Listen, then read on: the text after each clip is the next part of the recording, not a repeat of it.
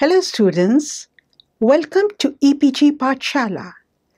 I'm Dr. Ranjana Saxena, Associate Professor from Dyal Singh College, University of Delhi. Today, we are going to discuss on the module Morphology, Life Cycle, Pathogenicity, and Prophylaxis of Dracunculus medinensis from the paper Parasitology. After studying this unit, you will be able to understand the medical importance of Dracunculus medinensis, identify the female worm from its morphological characteristics, explain the importance of the two hosts in the life cycle of Dracunculus medinensis and highlight the symptoms of the disease caused by the parasite. You will also be able to suggest various methods for the prevention and control of the parasite. Colloquially, Dracunculus is named as Guinea worm, so called because it was discovered in Guinea in West Africa. It is also known as Medina worm, commonly found in Medina, and hence the name.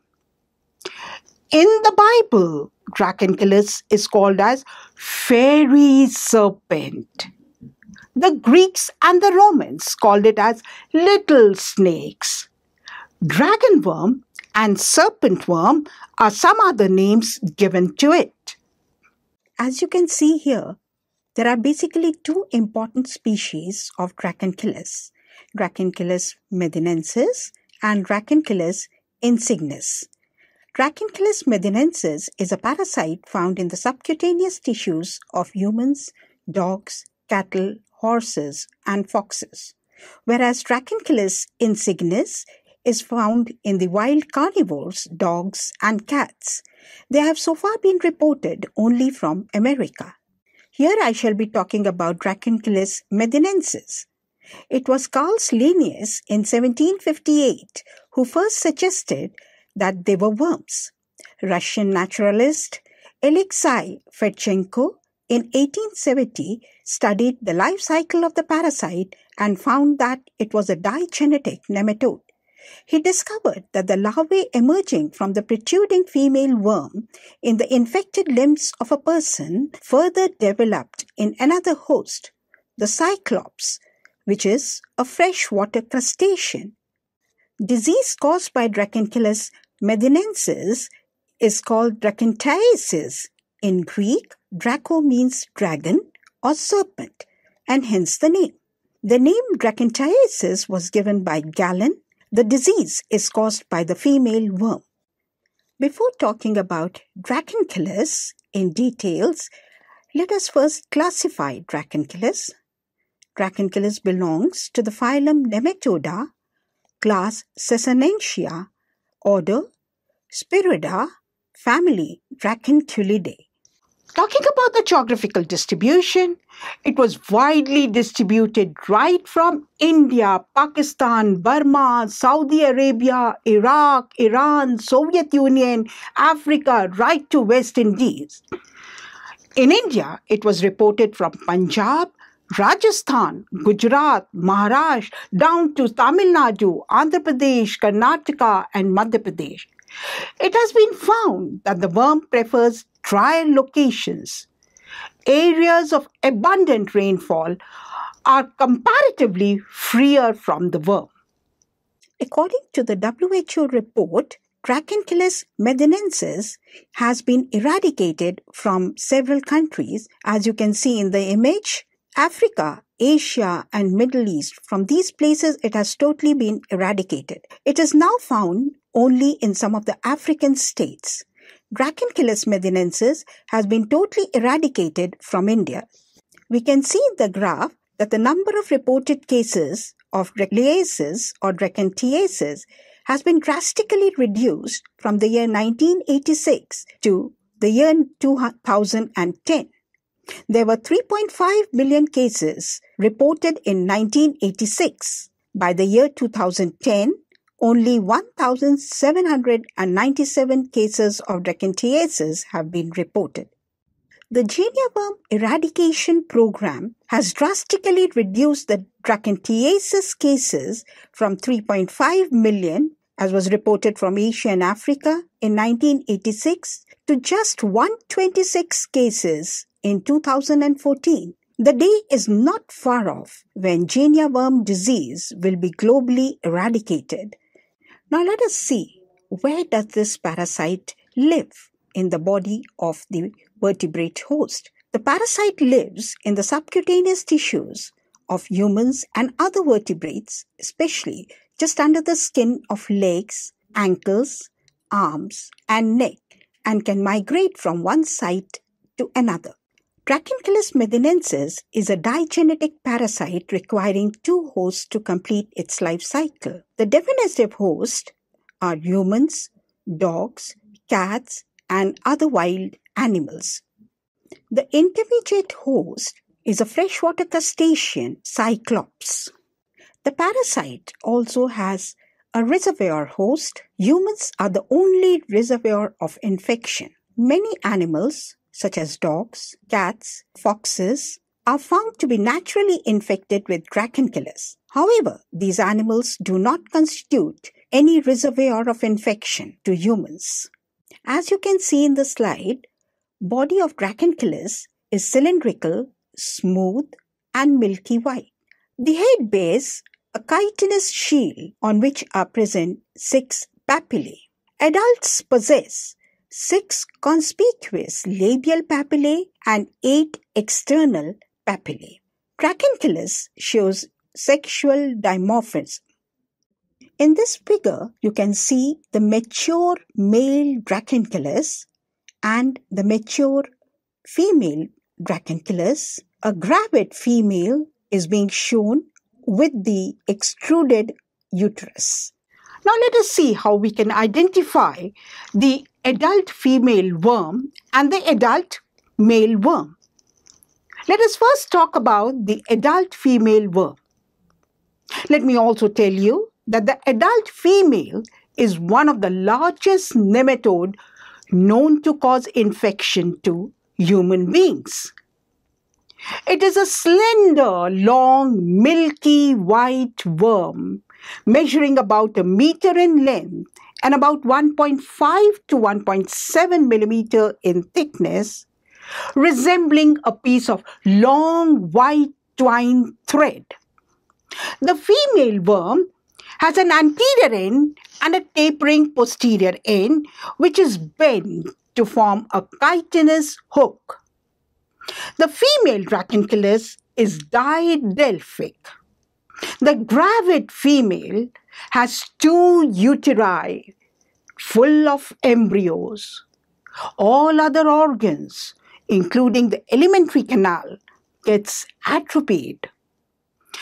Roughly about 3 million embryos can be found in the uterus of a gravid female. The worm is viviparous and discharges the embryos in successive batches for about three weeks. By the time the uterus gets completely empty. Now let us see how we can identify an adult male worm the males are much smaller than the females, measuring only about 12 to 30 mm in length and 0.5 mm in width. The posterior end of the male is conical and bears 10 pairs of genital papillae. Four of them are preanal and six pairs are postanal papillae. As in other nematodes, the male Dracunculus has a common opening for the anus and the genital aperture, which is called the cloaca. Cloaca is present at the posterior end of the worm, a little in front of the tail end. Now, here it becomes very necessary to mention that in case of female Dracunculus, The anus is present at the posterior end, while the genital aperture or the gonopore is present in the middle one third region of the body. Males also possess an accessory reproductive organ known as spicules. Another accessory reproductive organ is called gubernaculum. The two, that is the spicules and the gubernaculum, help them in opening the vulva of the female during copulation and thus they assist in mating. The spicules are of unequal length in Dracunculus and are enclosed in a spicular sheath. They are protractile in nature. When not in use, they lie within the spicular sheath only when copulation is to take place, they project out of the spicular sheath in order to open the vulva of the female. Gubernaculum, on the other hand, is a sclerotized thickening of the cuticle formed from the spicule pouch and lies on the dorsal side of the cloaca and probably help to guide the spicules in opening the vulva of the female worm. The males die after copulation as they have not been reported from man. Males have only been recovered from some of the experimental animals. Dracunculus medinensis is a viviparous worm that liberates a larva. The larva of Dracunculus is known as rhabditoid larva.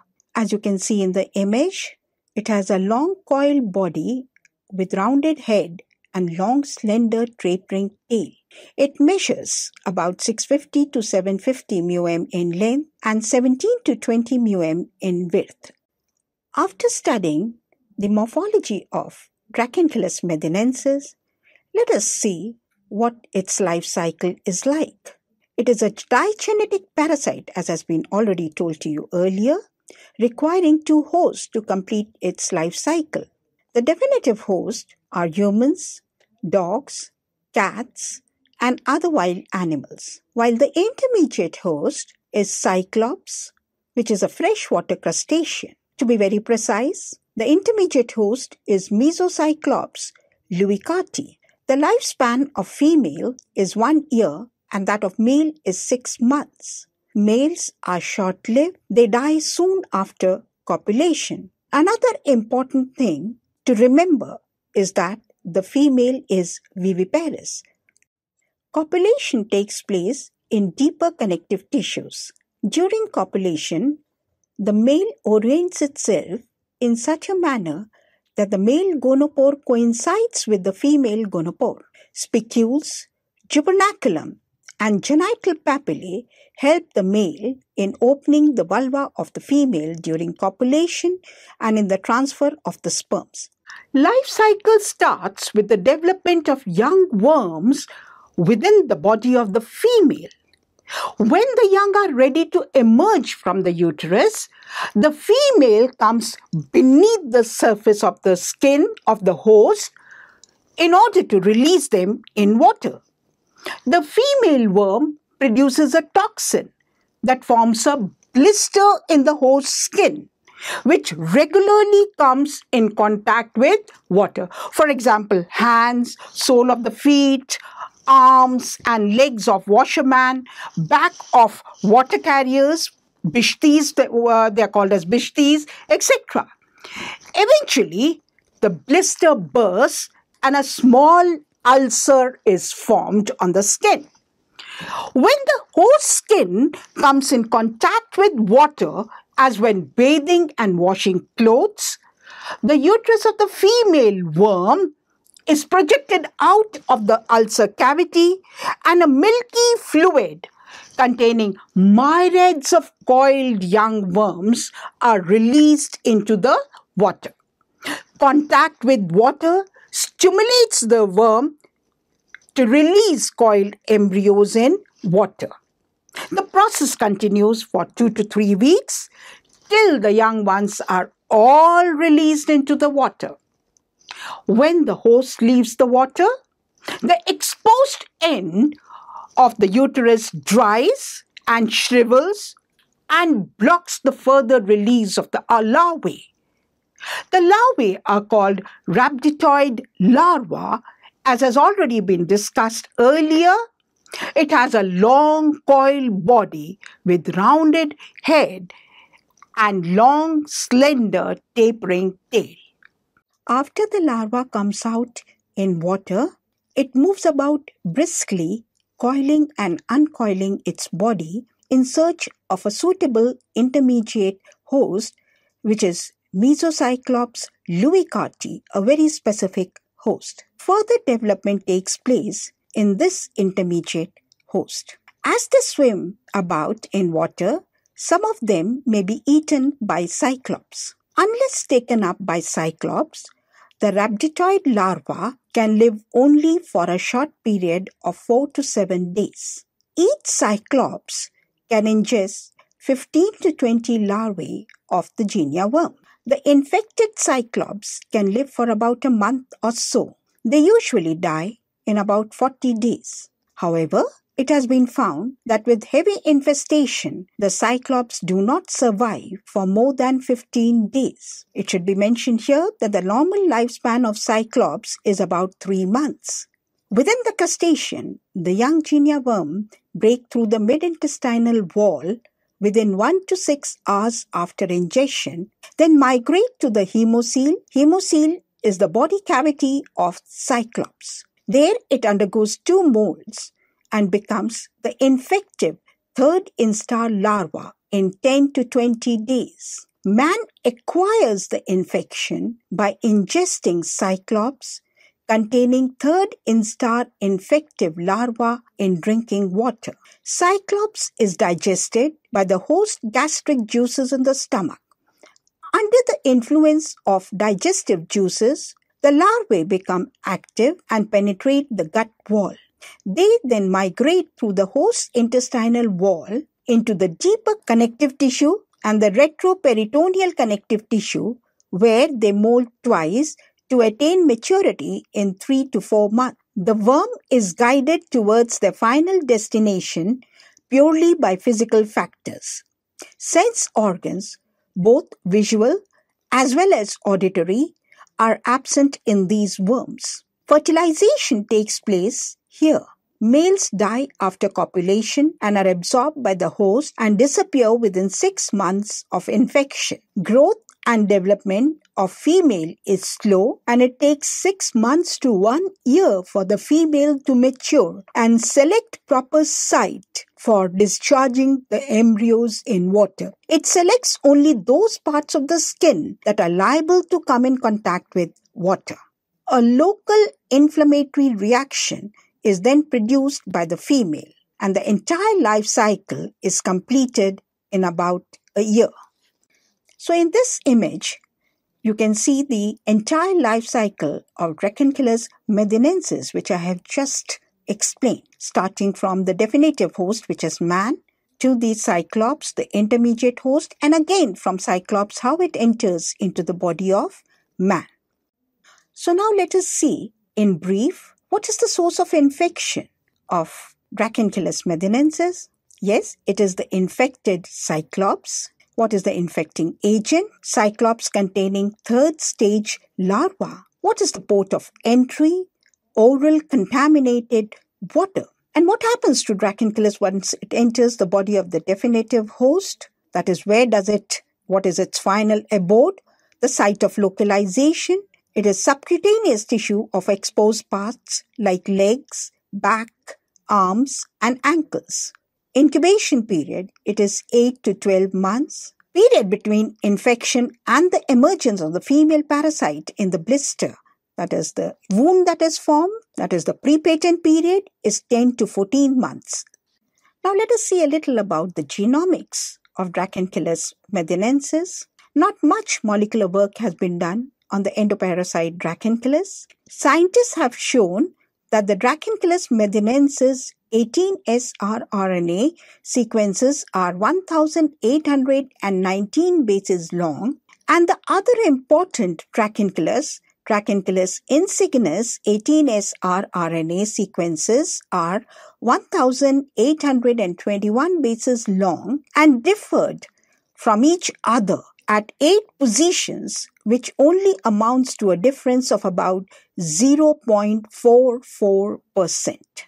Phylogenetic position of Dracunculus had been studied by comparing the 18S rRNA sequences of various nematodes.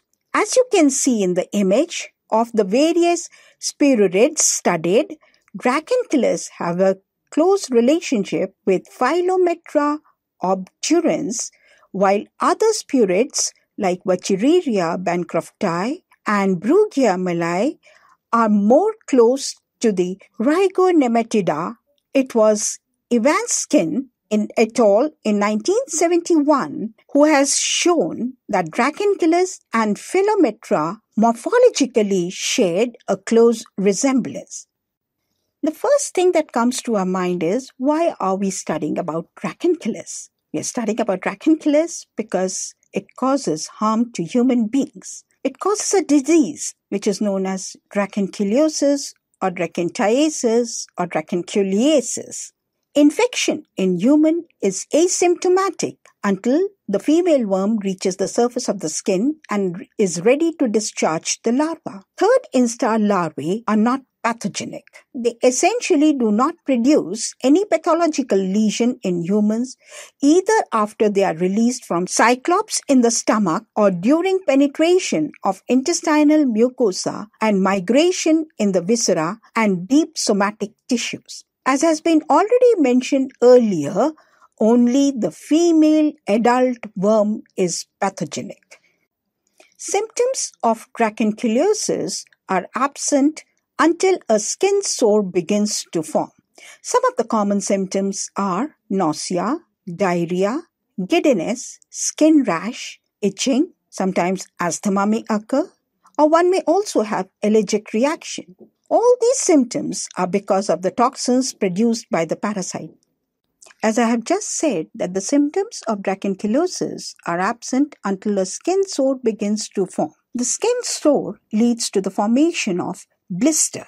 Blister formation appears whenever the gravid female worm makes an attempt to come to the surface of the body, purely guided by instinct, and pierces through the skin to discharge its embryos. The worm secretes an irritant, which is histamine like substance that produces a small red spot, which gradually becomes a small bleb or blister, as you can see in the image. Blister formation is accompanied by intense burning pain. Over the next few days, the blister vesiculates, that is, a fluid appears in the blister. Finally, the blister ruptures, exposing a small superficial erosion. A small round hole may be seen at the center of the erosion, as you can see in the image. This hole leads to a tunnel in the subcutaneous tissue where the gravid female worm lies. Now, the gravid female worm protrudes its head through this hole whenever it comes in contact with water. Discharge of larva is intermittent. Sore is not usually more than 5 mm in diameter. Discharge of larva is intermittent. Sore is not usually more than 5 mm in diameter but can become larger and sometimes becomes secondarily infected with bacteria. Sore is usually on feet, legs, or arms, but occasionally on other exposed parts of the body also. During next few weeks, the worm dies and is slowly absorbed in the tissue, after which the ulcer heals. Fluid in the blister is bacteriologically sterile and yellow in color. It contains many monocytes, eosinophils, neutrophil, polymorphonuclear leukocytes, and granulocytes. Many embryos remain coiled up in this fluid. As you can see in the image, many worms are coiled up in the wound. Secondary bacterial infection in the open wound is possible, as I have already said earlier on. Once the embryos have been discharged by the gravid female, the local discomfort diminishes. The problem now is to remove the dead worms because these worms may cause arthritis, and paralysis of spinal cord if they get lodged in the joints or get calcified in the soft tissues. Sometimes the worms may die prematurely and get calcified in the bones and thereby triggering arthritis, locked joints, or premature deformities, and in some cases may lead to complete deformity. In the image here, we can see that a man is extracting out the Dracunculus medinensis worm from the wound. So if the female worm are near the surface of the skin, they can easily be removed by carefully twisting around a stick. This method of extracting the worm may take some days or even weeks. Care should be taken that the worm does not break off in between, as that might lead to complications because of the release of certain chemicals. Secondary bacterial infection, I repeat, is quite common, sometimes even leading to tetanus. So, this technique of extracting out the worm on a stick was for the first time devised by Moses and is still in practice in some of the endemic areas. The host immune system only starts to respond when the female worm comes up to the surface of the skin of the exposed part, like the ankle, in order to release the larvae. The parasite tries to evade the host immune system. It is believed that the worm secretes opioids, morphine 6 glucuronide that suppresses the immune response of the body. It is also believed that the worm coats themselves with proteins that identifies them as part of the host and therefore go unnoticed. Talking about the epidemiology, the disease is prevalent in areas where people do not have safe water to drink. There is no vaccine till date to prevent dracontiasis chances of reinfection are common as there is no protective immunity against Guinea worm. There is no drug treatment for the fairy serpent. How can we diagnose Dracunculus medinensis in the body of the vertebrate host? The adult can be found when the female worm comes up to the surface of the skin to release embryos. As far as the embryo of the worm is concerned, the affected part through which the head of the worm is protruding may be bathed with water in order to stimulate the discharge of embryos from the uterus, which can then be examined under the microscope. Worms in the deeper tissues after death either become calcified or absorbed. Skiography reveals such calcified worms. Intradermal injection of Dracunculus antigen in patients suffering from dracontiasis causes a wheal to appear in about 24 hours. Recently, Falcon assay screening test, an enzyme-linked immunosorbent assay, FAST ELISA, an enzyme-linked immunoelectrode transfer blot, EITB, these techniques are used to test human sera with Dracunculus medinensis adult worm antigen. What is the prophylaxis for Dracunculus medinensis? Drink clean filtered water. Boiled water is always safe to drink. Keep away people with sores from contaminating wells, laundry, and bathing water. And the important is to eradicate the vector cyclops by encouraging cyclops eating fishes in ponds and streams used by people or by chemical treatment of water. There is no drug treatment for the fairy serpent. Antihistaminics and steroids, they only help in the initial stages of allergic reactions. Drug therapy has no lethal effect on the worm but helps to reduce the swelling and also in removing the worm easily by surgical methods. Now let us summarize what all we have studied about Dracunculus medinensis. Dracunculus medinensis is a somatic nematode which requires two hosts to complete its life cycle. One is the definitive host, human, and an intermediate host, which is a cyclops, Mesocyclops leuckarti. It is a viviparous parasite. Infective stage is the cyclops containing the third instar rhabditiform larva. Humans get the infection by drinking contaminated water containing the infected cyclops.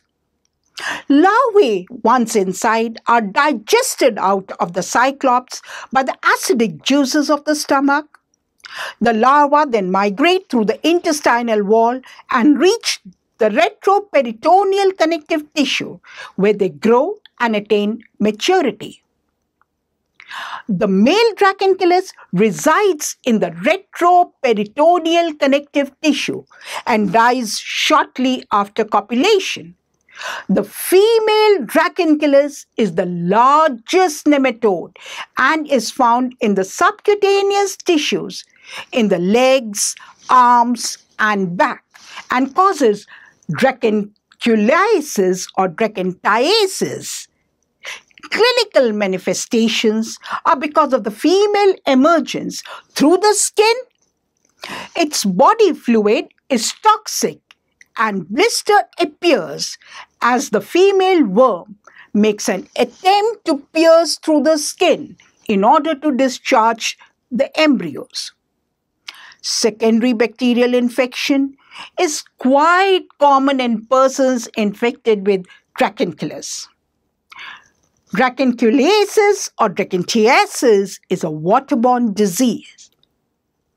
Safe drinking water, therefore, not allowing infected persons from entering water bodies like ponds, step wells, etc., and removal of cyclops from the water bodies can help in the prevention of the disease.